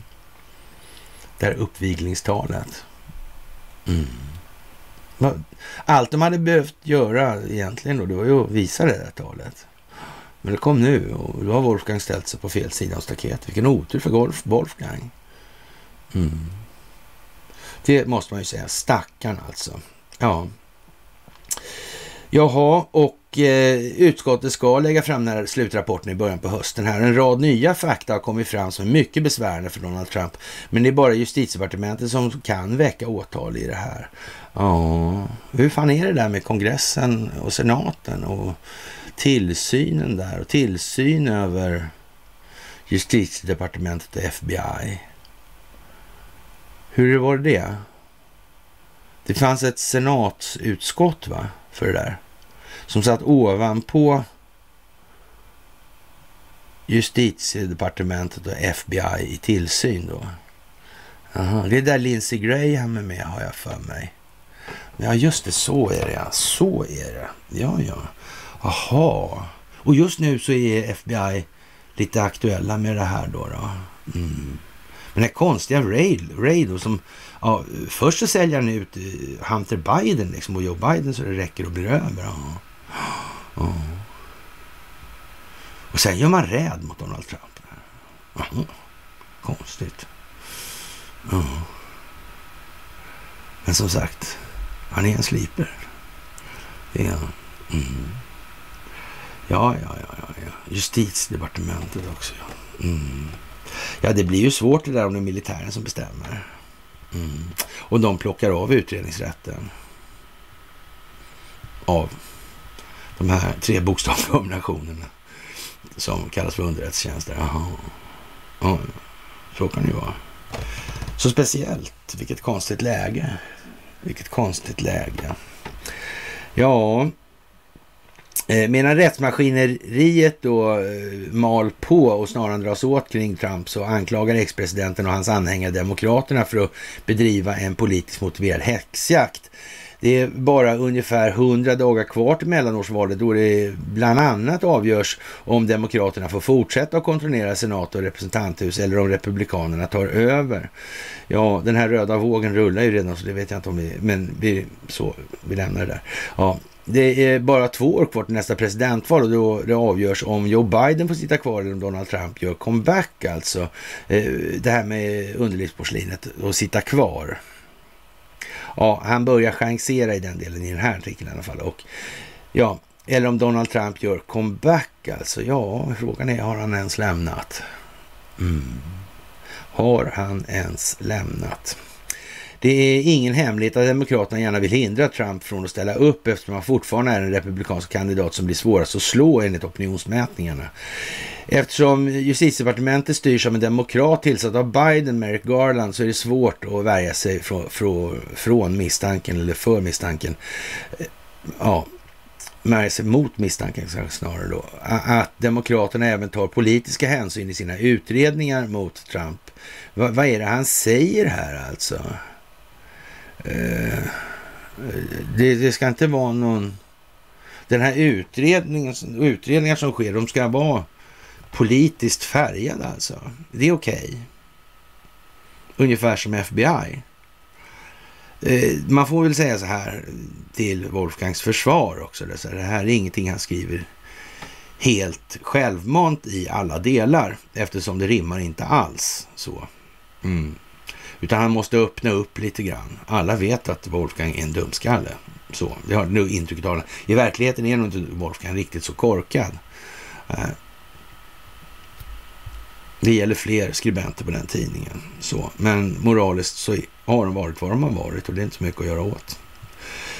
Ja, det är ju, Demokraterna har trots allt mycket att vinna på att Trump åtalas, även om det skulle eh, ske på rent objektiva grunder. Alltså även om det skulle ske på rent objektiva grunder. ja, och om det inte sker på objektiva grunder, då vinner de ännu mer då. Alltså. Ja. Ja, ja. Hur vet man att, det här, att det inte finns politisk infärgning i det här då? Om det uppenbarligen gör det på FBI's husis. Eller? Eh, ring a bell. Ja, jag vet inte. Ja, FBI-chefen Christopher Wray tillsattes av Trump. Alltså, det har inte Wolfgang missat. Man måste också ta hänsyn till att risken att ett åtal spelar Trump i händerna det skulle göra det lättare för mångmiljardären att få sina anhängare till barrikaderna och öka risken för social oro i landet. Mm. Ja, som sagt. Det är ju det där, den våta drömmen. Det är ju naturligtvis ett lågintensivt inbördeskrig alltså. Ja, för den djupa statens vidkommande. Det är helt säkert att de parter som motverkar den djupa staten koordinerat har förstått att in, lågintensiva inbördeskrig är en sån grej alltså som någon föredrar framför andra helt enkelt. 91 000 britter i protest mot dyra elräkningar i höst vägrar betala. Ja, skriver man i Dagens Nyheter idag. Och svenskarna? Inte något, nej. nej. Men man, varför skriver man så här i Dagens Nyheter då? Vad kan syftet vara med detta opinionsbildningsutspel? Möjligen, alltså möjligen. Ingenting. Nej. nej. Kan det vara att folk ska reagera? Vad fan ska vi betala det där för? Vad är det för produktionskostnad som har blivit dyrare? Varför ska vi betala det för mer? Det kostar ju ingenting mer att göra energin. Det är ju någonting som är fel i det här systemet. Jag menar, det är vi som lider för att miljön utarmas och förstörs. Ja. Och nyttan av det, det går till energibolagen. Och, och det här kraftnätet, vem man betalar det från början? Är det energibolagen som har betalat det? Själva? Och det är därför de tar sådana här överföringsavgifter och sådana grejer. Men hallå?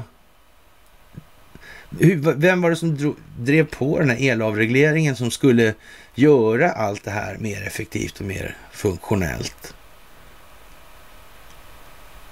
Mm. Ja, telefoner är ju bra att ha privat. Telekominfrastrukturen den måste ju vara privatkontrollerad. Det måste den ju vara. Men det börjar bli dags nu. Det börjar bli dags även för det svenska folket att förstå att nej, det här är inte så jävla lyckat helt enkelt. Ja, ja. Och eh, det är, ja, som sagt, det är helt otroligt i hur mycket människor som har börjat följa det här, som är engagerade, det måste ju jag säga. Alltså, jag tycker det är helt fantastiskt alltså. Och, och det kommer folk, folk som på de mest undliga ställen alltså. Som det, det är du va? Ja, jag vet inte. Ja, ja, ja, ja, så ja, ja, ja. Så är det, ja. ja, jag har följt det i, i sju år. Okej, jaha, roligt, trevligt. Mm. Sådär, de är jättepositiva. Det är jättebra faktiskt. Jaha, och SVT förnekar sig naturligtvis inte. En av världens mest avancerade signalsökande robotar har använts i hemlighet. Och man har fått fram fragment då från en sån där som har trillar ner från himlen, alltså i all hemlighet då, eller? Mm. Och så gör man då, eh, eh, eh, gör man stort nummer av då att det här är en fantastisk eh, apparat som, som, helt enkelt då, eh, ja, det, det, är en vägdelare eller vattendelare i kriget. Jag vet inte. Ja. Att det var hemligt var betydelsefullt för att få så stor effekt som möjligt. Ja, meddelar man i förväg eh, kan ju ryssarna börja taktikanpassa. Eh, det vill säga ändra sitt beteende, säger Rein Pella då på Försvarshögskolan. Och, och, ja, och, och, det var ju smart av dem att inte tala om innan vad de skulle göra. Då. Ja, ja, ja, men nu vet ju alltid då de här på Försvarshögskolan, de vet ju alltid vad som ska hända innan då, fast det, det de säger det händer ju aldrig. Det där är ju konstigt alltså. Ja, som sagt, det är rätt så små saker som händer i största allmänhet. Och ja, Underlivsporslin, han säger helt enkelt nu att militärblocket är oumbärligt för världsfreden samtidigt som det ratificerar Finlands och Sveriges medlemsansökningar. Och Biden säger att NATO är starkare än någonsin alltså och även innan han godkände det här. Alltså nu kommer det bli ännu starkare alltså. Och Joe Biden har alltså godkänt Finlands och Sveriges ansökningar om att gå med i NATO. Och det har vi ju pratat eh, någon enstaka gång om det här. Mm. En sak är helt säker i alla fall, att alla NATO-medlemmar kommer inte bli nöjda med det här. Det kommer få geopolitiska konsekvenser i den meningen. Och det, det kan man väl säga att det, det, måste nog anses ligga i farans riktning att Turkiet är ett land som ja, tycker att det där kanske är sådär. Mm. Turkiet fick väl häromdagen, det var väl någon form av grej där med Ryssland va? Mm och handel, några handelsgrejer och, och dollarn. Var det inte så? Jag tror det. Ja, just det. Ja. Och det kom precis innan här nu. Mm. Jag vet inte. Ja. Ja, det där är ju speciellt alltså. Ja, det här är mer enat och starkt än någonsin alltså. Och, och, de har starka demokratiska institutioner, starka militärer och starka transparenta ekonomier som kommer att möta varje av NATOs krav. Alltså det är ju i alla fall så, alltså, det här med starka militären, det, det kan vi ju säga, de är politiskt engagerade, det kan vi ju säga. Så då. Det tar sig uttryck främst i att man är, jassar med i Pride-tåget. Och som sagt, det är säkert jättelämpligt för militären att bedriva sån politisk verksamhet. Helt enkelt. Och, och poliser borde också gå där och, och domare och rådmän och, och alla sådana här äh, samhällsbärande funktioner, de borde gå där. Ja. Är det? Jag vet inte exakt om det är det, men, men i alla fall, ja. Ja, ja. Och eh, ja, Mer än 20 av NATOs 30 medlemmar har ratificerat den här anslutningsfrågan och, och, och ja, man, som egentligen då kräver att man erhåller då enhåll, on, enhälligt samtycke från alliansen för att man ska få gå med då. Och Turkiet är ju inte sådär jätte, ja, nöjda då och har väl kanske nått no, några typer av överenskommelser. Det framstår ju som lite oklart det där, men förr eller senare så kommer det här effektuera sig till att NATO går den vägen som vi har sagt att NATO ska gå alltså. Det är så det här spelet och samtidigt ska man då se till att ha så mycket militär personal som det bara är möjligt eller nödvändigt kanske vi ska säga placerad i Sverige. Mm. Så är det också. Och när det sen framkommer att utländska makter, utländsk makt har intervenerat och påverkat, utländsk valpåverkan alltså, i det amerikanska valet. Mm. Då kommer handlingsfriheten bli ännu mer begränsad utåt sett. Mm. Så frågan är om vi ska ha något val för att, för att ha till val sen. Då, för att hinna få igenom någon lämplig förändring. någon grundlägesförändring skulle man kunna säga. Eller om det väntar en, liksom, en lite längre period med, ja, vad ska vi säga, internationella interventioner. Så kan vi kanske kalla det för. Mm. Även om Moskva länge har uttryckt oro över NATOs expansion österut, Finland delar en 1340 kilometer lång gräns med Ryssland, så har president Putin uttalat att Eh, Ryssland inte har något problem med något av länderna och ser deras medlemskap som ett omedelbart hot i den meningen. Nej, alltså själva den administrativa åtgärden som sådan är ju liksom inte sådär... Mm. Men om nu Vladimir Putin och Donald Trump samverkar. Ja, det kanske ska vara lite teater för att lära några att veta hut. Kan det vara så? Mm. Kan det vara så, ja. Ja, jag vet inte. Hur var det med Kaknästornet?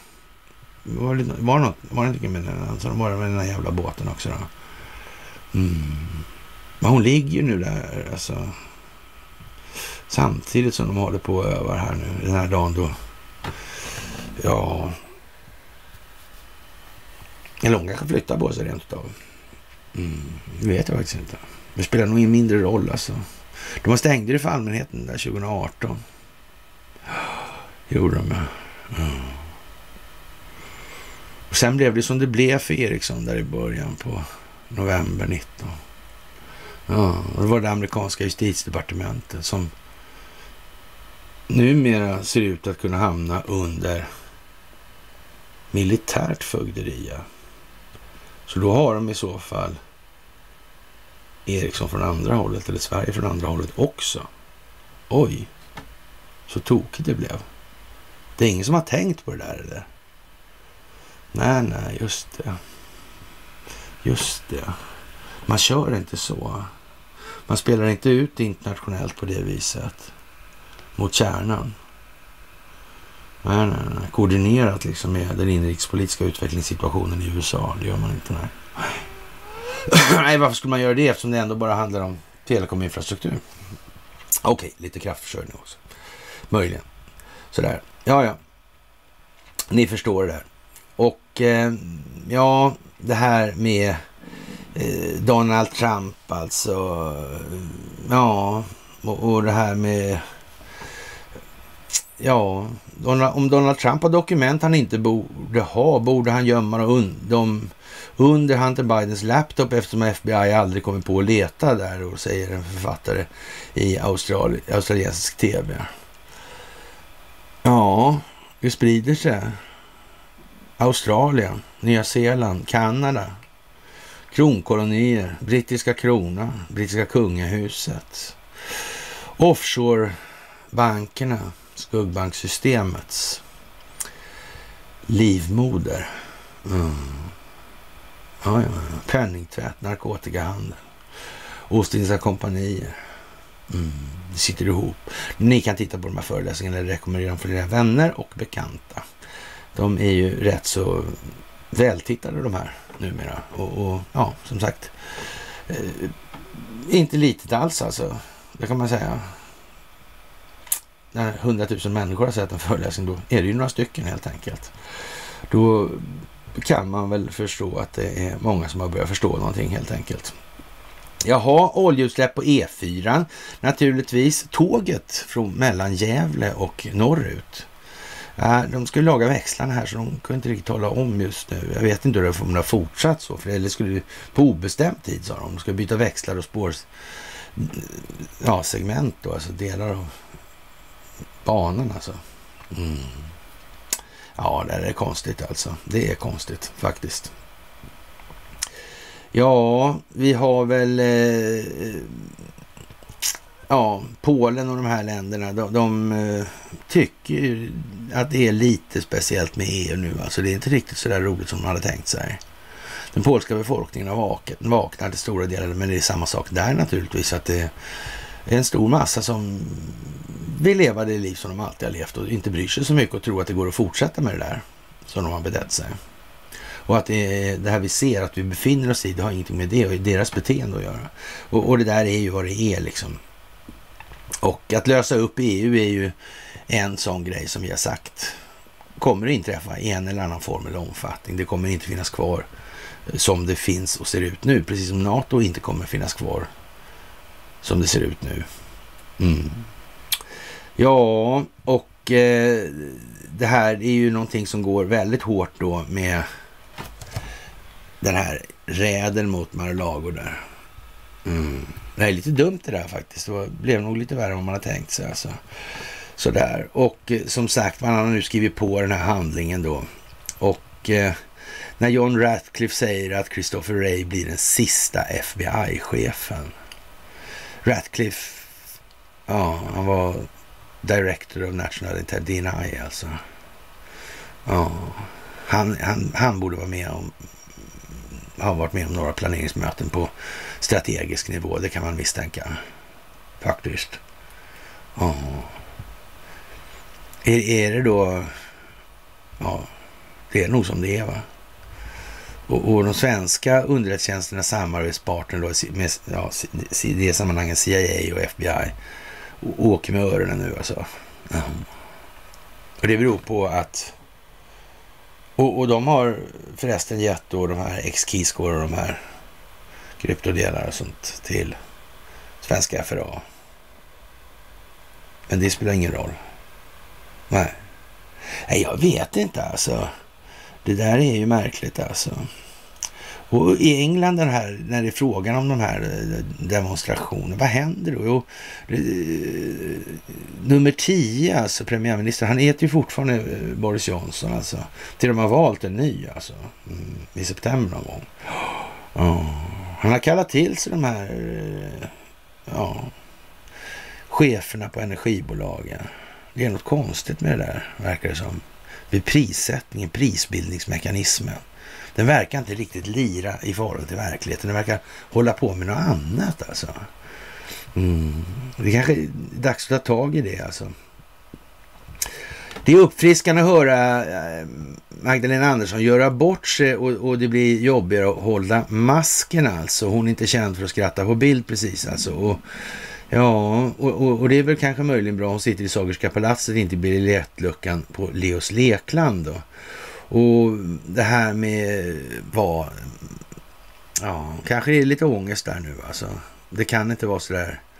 Eh, ja, hon verkar avmätt eller lugn. Lugn samtidigt lugn och så alltså, inte stressad. Och möjligtvis har hon förlikat sig med vad som komma skall i den meningen. Det, och det, det, är väl bra i och för sig, men ja, vi får väl se alltså hur det här utvecklar sig i den delen. En annan figur som har dykt upp på senare tid är Sayed Hassan Nasrallah alltså. Och det är Hizbollahs ledare alltså. Och det där är ju en speciell figur alltså. Han är inte så pigg på det här med islamisk fundamentalism i den tappning som Isis och Al-Qaida och sådana här muslimska brödraskapet har bedrivit verksamhet alltså. Mm. Och, och, är det så att han tycker att den där typen av verksamheten är ganska dålig för samhällsbyggnationen, då får man nästan utgå ifrån att man inser tämligen snart från de här olika grupperna jag nämnde då att nu har man ett problem på halsen. Sådär. Mm. Det kan man nog utgå ifrån faktiskt. Och ja, vem vet? Det skulle inte förvåna mig om han kände Mohammed bin Salman, MBS alltså. Mm. Ja, det var ju det där med Libanon och centralbanken som reviderade också. Det glömde jag ju bort. Och så var det där med terroristfinansiering och sånt också. Ja, ja, det var ju det också. Mm. Ja, men det var ju han den där Khashoggi inblandad också. Och så var det så konstigt också när någon lirare där som dog nu. Alltså, och som hade samma namn som någon annan. Det var också konstigt. Mm. Verkar gå ihop ändå alltså. Mm. Som sagt, det gäller att hänga med här nu alltså. Och eh, ja, Per Westberg har eh, kommit fram till att eh, han ska lämna Amnesty. Och Amnesty blev ju då ja, av Zelensky utsedda till att vara rena jävla terroristverksamheten. Ja. Mm. Men Westberg han är en speciell figur alltså. Det får man säga. Mm. Men den var länge också. Nästan lite djupa staten-varning på den här va? Mm. Men det beror på om man tror att den djupa staten finns eller inte. Det måste man ju också säga. Så I så fall, så annars blir det ju ingen diskussion alltså. Mm. Och Eh, beroende på vad och hur mycket skådespelaren Zelensky vet om Amnestys finansiering är påståendet faktiskt om terroristorganisationer kanske inte helt taget ur luften alltså. Eh, kanske Amnesty pysslar med penningtvätt och distribution eh, ja, av olika varor och sådär. Alltså, ja, det där blir inte bra alltså. Kanske har de hållit på med det länge. Kanske var det läge att lämna. Kan det vara så att det kommer komma fram en massa saker att han drar därför? Skulle det kunna vara så? Jag vet inte, jag har ingen aning. Ja, som sagt, det känns som vi har gjort det här nu många gånger och eh, vi säger samma sak alltså. Costa Ricas nye president, ja, han tycker det här får vara nog med det här vaxtramset och så vidare. Det räcker nu helt enkelt. Mm. Det kan man ju faktiskt tycka. Covidiotin är snart ett dåligt minne blott och djupa staten har förlorat ett av sina viktigaste vapen i de sammanhangen. Och eh, ja, Republikanerna eh, säger att FBI har tagit en eh, biltelefon här. Och ja, vad ska man säga egentligen? Och beslaget är enligt uppgift en del av undersökningen och tidigare president Donald Trumps försök att störta valet 2020 alltså. Federala agenter har beslagtagit representanten Scott Paris, en republikan från Pennsylvania, hans biltelefon och, och, och eh, det här är den här banan, bananrepubliksfasonerna alltså, mitt med en utredning om presidentvalet 2020. Och det här är ju någonting man får väl... Tänk om vad de hittar för något alltså. Mm. Man får vara försiktig. Och, och, det var ju återigen det där konstiga liksom att tre FBI-agenter. Ja men där var ju han Ray chef alltså. Han som just golade ner eller vattnade ur Hunter och Joe Biden. Ja, konstigt alltså. Men det, det, är inte planerat, inte det minsta alltså. Och det här skedde alltså alldeles efter då man hade genomfört en räd mot Trumps semester på Mar-a-Lago i Florida. Enligt uppgift kommer en del av undersökningen av Trumps hantering av presidentdokument, inklusive sekretessbelagt material, kan ha förts till Palm Beach-anläggningen. Mm. Ja, det kan ju vara så. Men det kan också vara på några, några andra sätt. Och det är ju de här andra sätten som verkar vara någonting som ligger i farans omedelbara närhet och riktning alltså. Jaha, och Pelosi tycker det var totalt helt värt att åka till Taiwan då. Det är ju lite sådär speciellt alltså. Och EU tycker då på något vis massa saker om det här med EU, eller om Ryssland då. Och ja, det är ju inte lika på något sätt alltså. Det verkar spricka betänkligt det här, alltså ytan på det. Alltså, ja, hjälkotten på båten liksom, den bara drar. Mm, det krackelerar helt enkelt nu. Big time alltså. Ja, och vi, det, vi, går ju bara, vi går ju runt, runt, runt och här i Sverige har litium stämplats, eller kan stämplas som giftigt risk för fosterskador och de här nya batterierna och batterifabrikerna och så vidare Det verkar ju bli jättekonstigt det här. Kan det vara planerat också? Kanske finns det andra energiformer eller andra sätt att framställa. För trots allt det här med batterierna alltså. Oh. Finns det andra batterier förresten som inte är så farliga? Hade de, fanns det inte sådana här eh, Hampa-batterier eller vad det var? Som hade jättehög verkningsgrad. Men jag kanske läste fel. Jag vet inte. Men det kan det vara så att man har tyckt att det där är inte så bra för det är ju jättebilligt och så vidare. Och, ja, och, och det kommer ju förstöra hela marknadssegment i det befintliga samhället om man börjar köra sånt där. Alltså. Det, men det är ingen risk. Nej, nej. Ja, men då, så då kanske. Som sagt alltså. Och det här med att eh, ja, en före detta polischef i, i New York, han säger då liksom next step will be assassination. Ja, efter de har gjort den här räden alltså. Mm. Vad fan säger han något sånt för? New York. Har en sån där haft något inflytande på något vis i något sammanhang? Jag vet inte. Han heter Bernard Kerrick och han varnar alltså för om FBI's razzia mot president Trumps hem inte hindrar eh, honom från att och liksom ställa upp då 2024 så kommer nästa steg vara för de som söker absolut kontroll över det amerikanska politiska systemet att, bli, att utföra ett lönnmord mot president. Har det diskuterats där så? Har det kanske diskuterats förut? Av några berörda parter. Kan Brennan, Clapper, Comey? Mm. Kan de vara varit Han Rodney Rosenstein, där var inte han, var inte det något konstigt att man skulle bugga? Alltså var det inte någon sån där grejer? Och det var ju det, ja. Just det. Ja, ja. Kan det här ha diskuterats förut inom ramen för underrättelsetjänstkollektivet? Ja. Då kan man ju säga om det är fallet och det här så att säga spårar ur lite grann och sådär. Då kan man ju säga att den amerikanska militären plötsligt har ett lite annat utgångsläge i den delen. Mm. Vi får väl se hur de drar den. Vi vet ju inte det exakt, alltså vilken tågordning som kommer. Men att det här är koordinerat, som vi säger, i förhållande till amerikanska justitiedepartementets kontroll över Ericsson i det här. Mm. Det kan vi vara helt säkra på hänger ihop med den amerikanska inrikespolitiska situationen gällande valet. Mm, det kan vi vara helt säkra på. Ja. Men det har inget samband. Nej, nej, för den djupa staten finns inte därför. Då vet vi det helt enkelt. Och allt sånt här är bara vidlyftiga fantasier ändå, så det naturligtvis, det vet vi ju nu.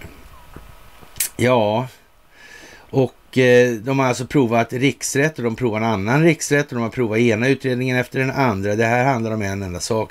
Det handlar om att stoppa honom från att kandidera 2024. Och jag är inte för konspiration, jag är inte för anti-regeringsretorik. Eh, det här är första gången i min livstid som jag skulle säga jag är dödsrädd för Donald Trump.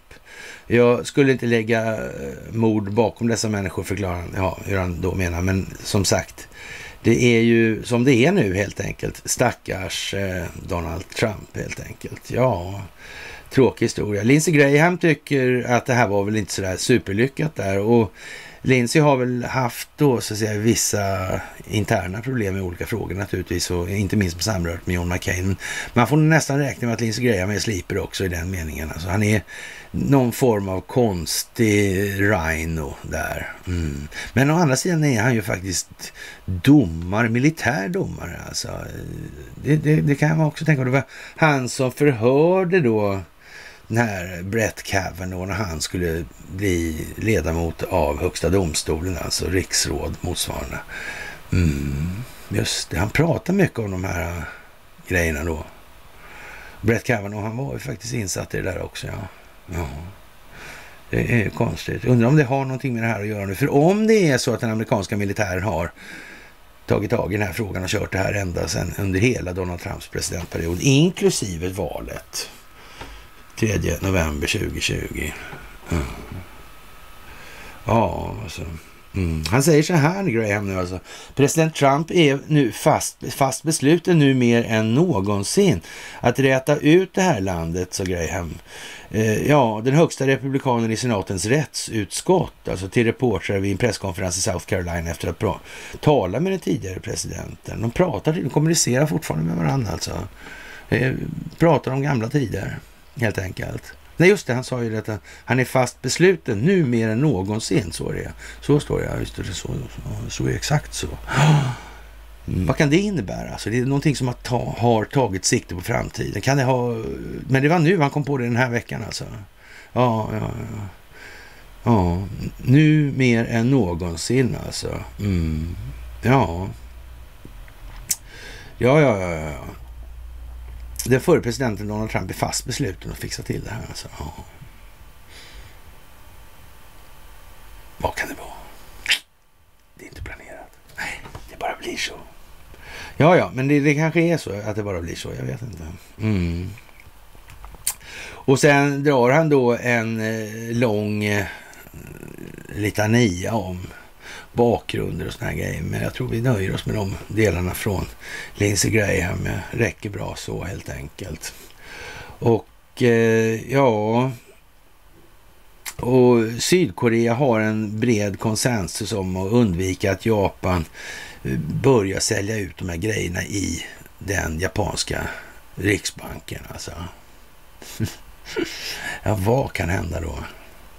Martin Stensö gjorde eh, en bra, eller jag vet inte, han kanske inte har gjort det programmet än. Ja, skitsamma i alla fall.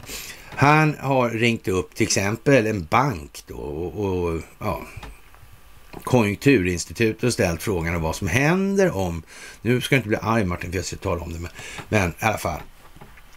Och vad som händer om värdet på fastigheten då, eller tillgången då, sjunker så mycket att det inte täcker Eh, beloppet för säk som det utgör säkerhet för alltså då.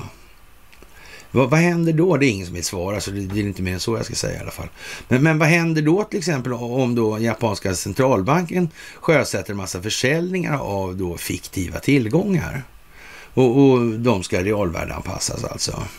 Det är ingen risk att det blir någon form av problem i den delen då. Det kanske blir någon form av systemkollaps rent utav. Möjligen skulle det kunna bli det. De har rätt mycket amerikanska statsobligationer kanske. Ja. Det är någonting som är lite konstigt här tror jag. Det skulle man kunna tänka sig att folk skulle kunna förstå nu och det kommer folk börja förstå nu. Och därför kommer det här att gå som det ska helt enkelt. Det är själva konsensus i den delen. Och jag är väl inte sådär, äh, ja, jätteorolig för att det här ska gå på något annat sätt än det enda sätt som det kan gå på. Och vi har väl eh, som sagt en del att ta tag i här i Sverige. Och vår undfallenhet att ta det moraliska ansvaret som vi borde ha tagit som medborgare i det här landet alltså. Det, som befolkning här alltså. Det, ja, det kan bara bli bättre som vi brukar säga. Det kan ju bara bli bättre. Ja, och det här med USS Indianapolis och Little Boy där och det var ju Japan och vi kommer liksom varvet runt planeten nu hur lätt som helst utan vidare i den här meningen. Och det är ju lite sådär spännande kanske att tycka. Eller ja, konstatera ska vi säga. Och ja, ungefär så långt kan vi väl säga att det här har gått nu då. Och sen kommer det naturligtvis bli otroligt omvälvande tider här och det kommer gå otroligt fort. Och det är otroligt mycket och många tycker det är svårt att hänga med och därför så är det bra att vi har de här underpoddarna. Det blir inte lika mycket kryptiska uttryck som gör att man måste tänka själv och att man måste liksom kunna en massa saker, sitta och leta en massa saker. Men det är ju det som gör grejen, är själva grejen. Men det kan bli för mycket, det fattar jag också. Men vi måste hålla farten framåt och därför håller vi på som vi gör nu alltså. Och vi taktar rätt väl då just nu, är vi ganska eniga om. I, i de här sammanhangen, vi, internationellt sett och sådär. Ja, vi, vi ligger precis där vi ska ligga nu. Och ja, många eh, tycker väl det är mycket nog så att säga. Ja, men eh, ja, jag vet inte. Eh, Putins kock på fängelseturné rekryterar rånare och mördare i Aftonbladet. Det Nivån är som sagt, det, det, det är liksom, ja, när det bara måste bli så in i helvete dumt, men svensken tuggar på alltså. Och, och det här ligger snart i lä ja, eller aprilskämten ligger snart i lä ska vi väl säga istället då. Och eh, ja, det är väl någonstans eh, en tragik i det här. Men det är också en oerhörd glädje i att det här faktiskt händer. Att vi får vara med och uppleva det här, att vi får hjälpa till att göra världen till en bättre plats för människan. Det är stort och det är viktigt att vi gör vårt bästa. Och det är jag säker på att de flesta som följer det här faktiskt gör. Och det är faktiskt jättebra. Enda sättet för Putin nu är alltså att ta till kärnvapen, eh, säger man då i Expressen. Och en Abbas Galjamov som jobbar som talskrivare, jobbade som talskrivare åt Putin under flera år. Alltså. Han ser hur presidenten tydligt har förändrats. Det här är alltså Expressen. Och, och ja, vad ska vi säga? Mm, det där med kärnvapen är en viktig grej alltså. Det verkar vara intressant faktiskt. Det verkar vara liksom en stor pryl alltså. Och som sagt, elpriset, det måste svida alltså. Man kan tänka sig att staten skulle ta eh, 75 procent av kostnaden på allt över en krona per kilowattimme och då föreslår någon då att det motsvarar 6 000 kronor tillbaka i plånboken för en familj i Norrland som betalar inte en spänn ens. Och, och för att ingen ska behöva gå från hus och hem den här vintern på grund av en elräkning då. Och, och det kan man ju tycka är lite eh, speciellt alltså. Och man får tänka efter alltså att det här priset, elpriset varierar då geografiskt naturligtvis. Alltså, och, och, då får man ju tänka på då liksom att, att eh, om man inte betalar en krona knappt i norr, eller i, i norr då än nu, alltså, så, så, så, och det är ändå skatt som ska finansiera de här subventionerna. Mm. De ska höja skatten nu alltså i norr då, det är vad de säger för att subventionera Skåne? Eller ska skåningarna betala mer skatt för att få lägre eh, elräkning?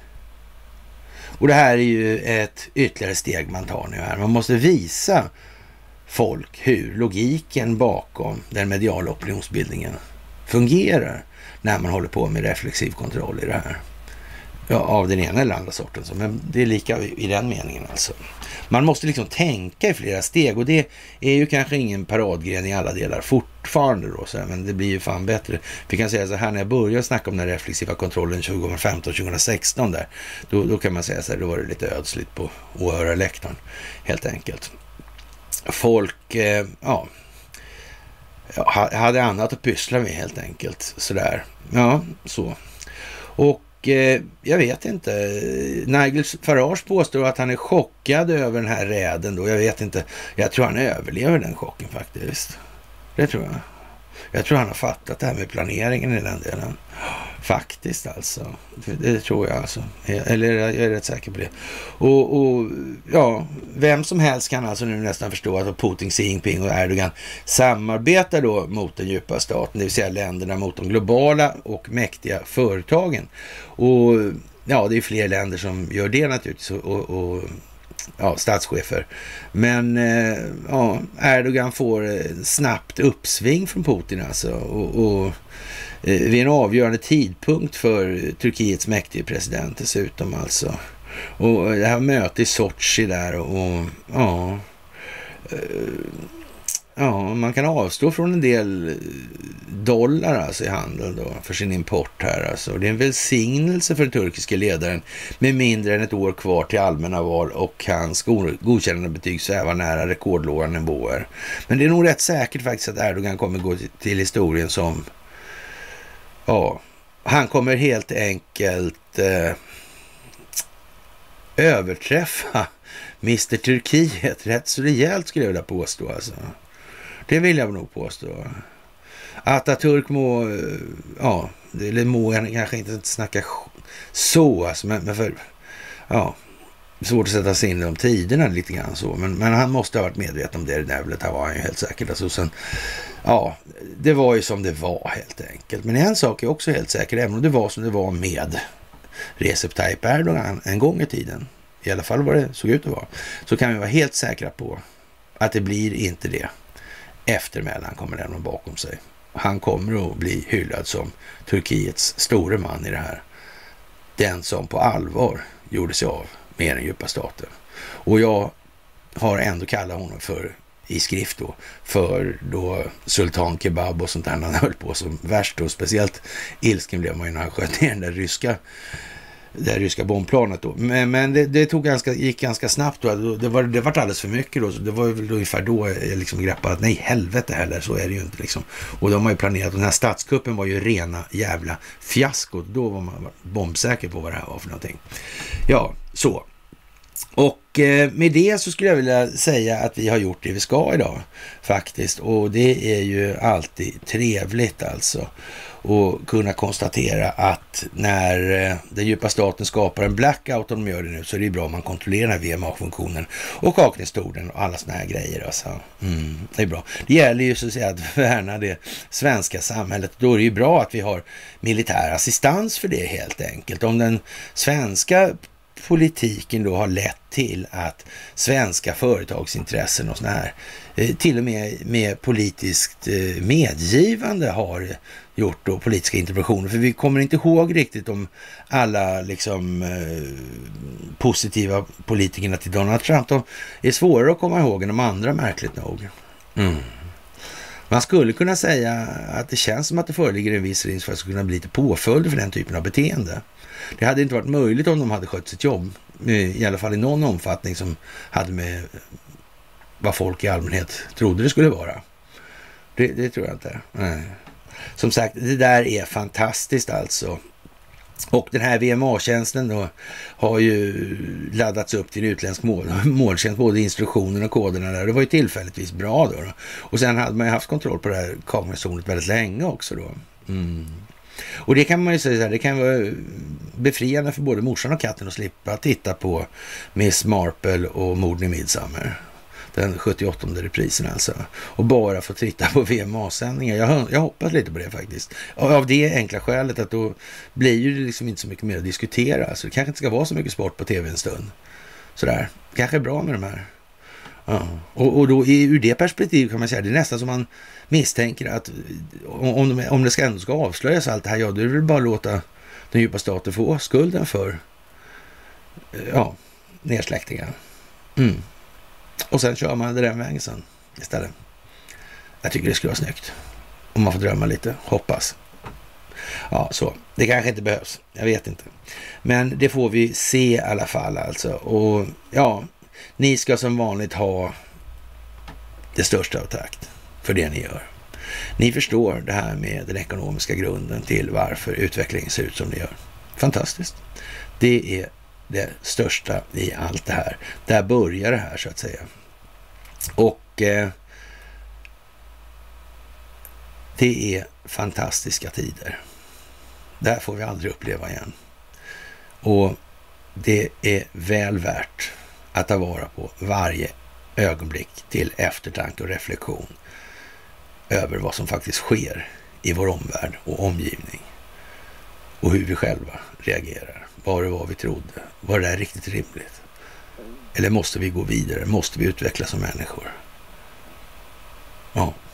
Med det, kära vänner, så önskar jag er en trevlig piglördag. och sen hörs vi senast på fredag då. då blir det.